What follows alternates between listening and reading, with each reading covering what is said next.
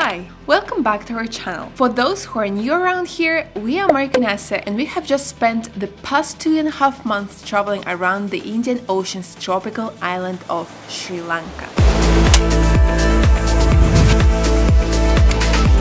From the pristine beaches of the south to the tea plantations of the central highlands, the mind-boggling ancient ruins up north and everything in between, we are ready to share our favourite experiences with you. So without further ado, here are our top 10 places in Sri Lanka.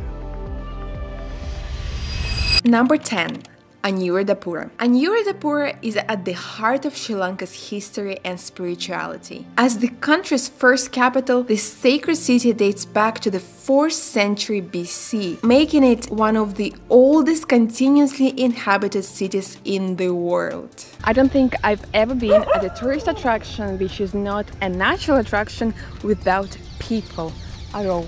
There are just a few dogs and Mark counted 40 monkeys. This building, when it was built, was the second biggest structure in the world, only behind the Great Pyramid of Giza, which is really impressive. Anuradhapura is a living testament to Sri Lanka's rich heritage with its ancient stupas and monasteries. The absence of other tourists allowed us to immerse ourselves in the sacred ambience of this huge historical site, and witnessing locals engage in daily worship at the restored stupas was a humbling experience. One of our favourite things to see in the ancient city was the Bodhi tree, which is said to be a sapling from the original tree under which Buddha meditated for 49 days and eventually attained enlightenment. If you're visiting Sri Lanka and want to get a wee bit off the beaten path, then be sure to explore the echoes of the past in this UNESCO World Heritage Site and unravel the historical importance of Anuradhapura. Number 9.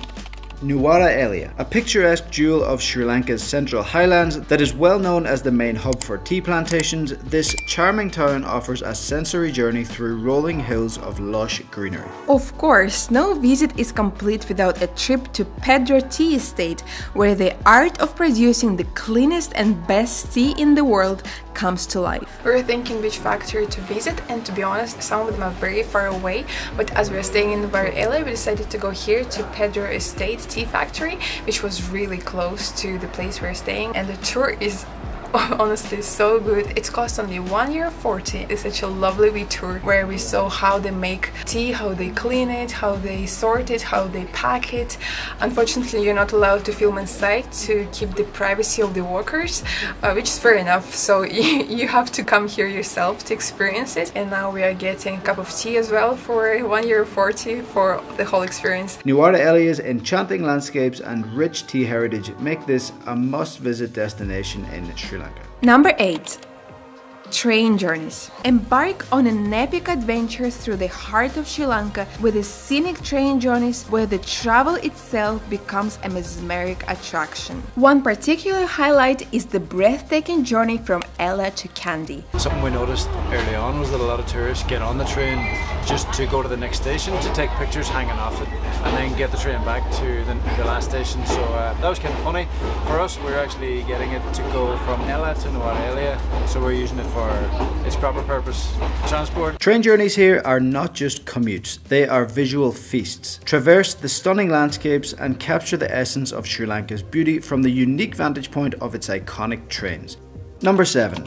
Ahaspokuna. Venture into the heart of nature with our unforgettable stay at Ahaspokuna, where luxury meets the wilderness. We spent three days in our lavish treehouse surrounded by the untouched beauty of Sri Lanka. Each morning we embarked on exhilarating hikes, immersing ourselves in the untamed landscapes. But the magic truly unfolded at night as the rustling trees and unmistakable sounds of stomping signaled the passage of majestic wild elephants just outside our tent, making it a unique and awe-inspiring inspiring encounter with wildlife. What we seen this morning, that it actually broke in and was right outside our tent. With no Wi-Fi and only 4 hours of electricity per day, we embraced the tranquility of nature, relishing delicious meals under the stars. Don't miss this place to share the serenity, adventure and unforgettable moments from your Ahaspokuna retreat. By the way, we have created a full video about this place, so make sure to check it out after watching this video. Number 6 Ambuluwawa Tower.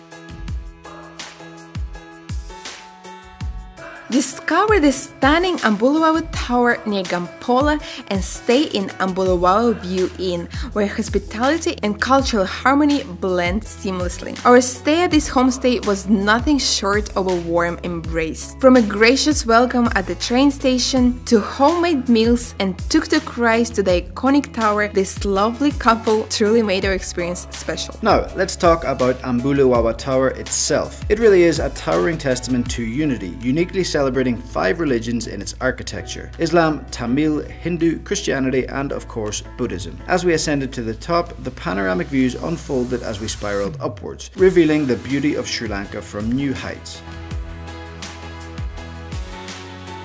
This tower is amazing. It's really easy to get to and the cost is only like 3 euro to get to the top. And this spiral staircase is just so peculiar and really worth visiting. So don't skip this in your itinerary in Sri Lanka. Number 5. Ella. Ella nestled in the emerald hills of central Sri Lanka, stands out for its scenic beauty. From iconic landmarks like the Nine Arches Bridge and the tranquil charm of taking a walk along the railway lines, to views of the valleys surrounding Little Adams Peak, Ella is just delightful. Our first morning began with a magical hike from Ella town to the Nine Arches Bridge. Arriving at 6am, we were greeted by a serene landscape that was still shaking off the foggy morning dew. The bridge, an engineering marvel, spans the lush valley, creating a postcard perfect scene that is as breathtaking as it is iconic.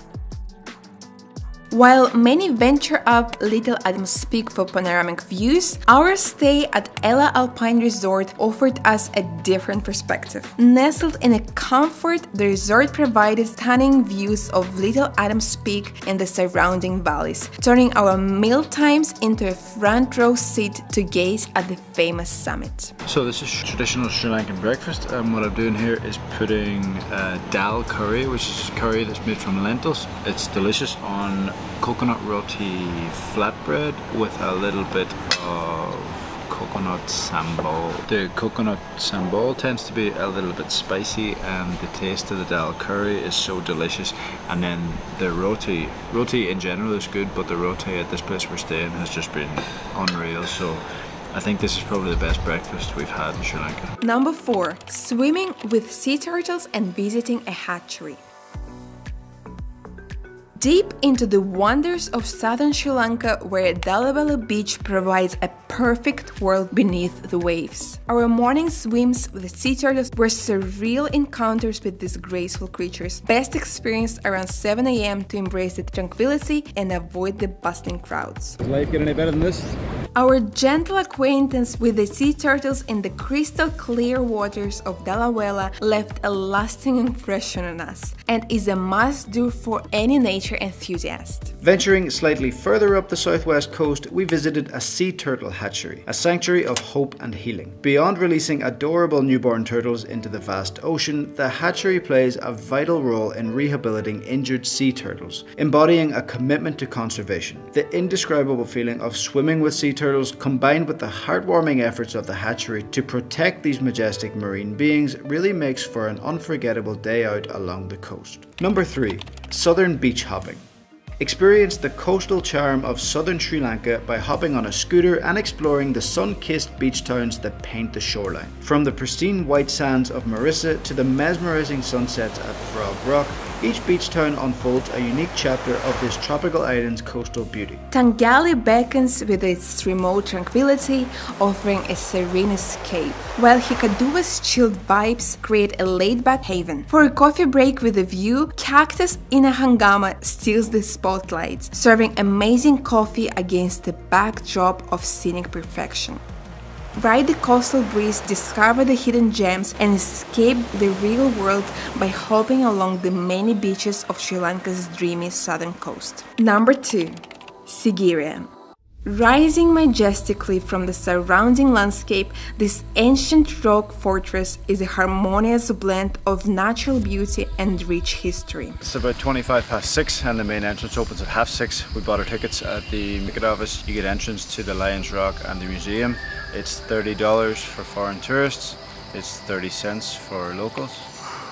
We highly recommend embarking on the steep ascent early in the morning, a 25 minute climb that rewards you with unparalleled views.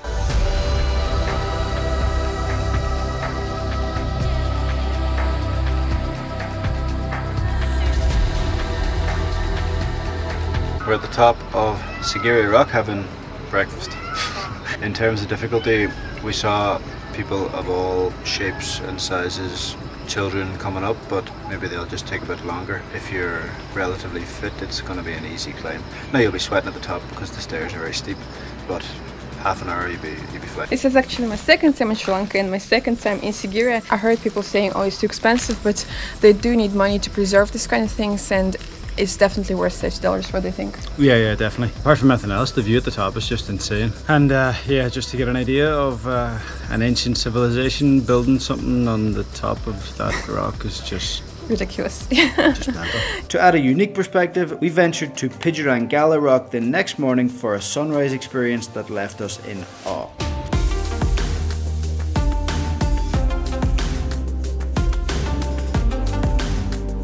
From the top of Pidurangala, Sigiriya unveiled its splendour in the soft morning light, creating a scene that simply takes your breath away. The hike up here takes about 15 minutes. It's actually a tougher hike than I was expecting. Not tough in terms of length, but there are certain bits that are a bit awkward. You kind of have to climb up some rocks.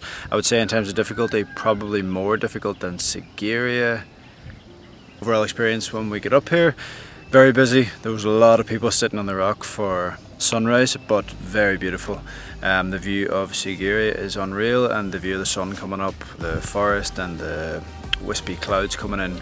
Unreal view and a great experience, but just be prepared, there will be other tourists here. You would think getting up at 5 o'clock that you might have the place to yourself, but no, a lot of people have that idea. Number 1 Yala National Park. Claiming the top spot on our list is the exhilarating adventure at Yala National Park, and the thrill of encountering Lucas the leopard for the first time made it an unforgettable experience. Our stay at Mahoora Tented Safari Camp elevated the journey with a perfect blend of luxury and wildlife immersion. The lavish tent, a sanctuary under the stars, and the mouth-watering dining experience complemented the heart-pounding safaris. In the morning, Yala revealed its wonders with a symphony of wildlife. Sri Lankan elephants, saltwater crocodiles, elusive leopards, water buffalo, spotted deer, wild boars, and a vibrant array of exotic birds. Yala National Park and Mahoora Tented Safari Camp, a tandem that etched memories of untamed beauty and luxury in our hearts. So that's it. Those are our top 10 things to do in Sri Lanka in our opinion. And let us know in the comments what do you think and maybe you have any more recommendations because I think we'll come back to Sri Lanka one day because we absolutely absolutely loved it. By the way, we are going to be creating the full guide about this beautiful country, including all the details, transportation, hotels, and stuff like that. But first, we are now back home in Ireland to celebrate Christmas, and we're very excited to make a video about all the happenings around Christmas in Ireland. So make sure to keep an eye out for that one when it comes out. In the meantime, if you're planning a trip to Sri Lanka and go to any of those places we've mentioned, we know you're going to have something to remember, just like us.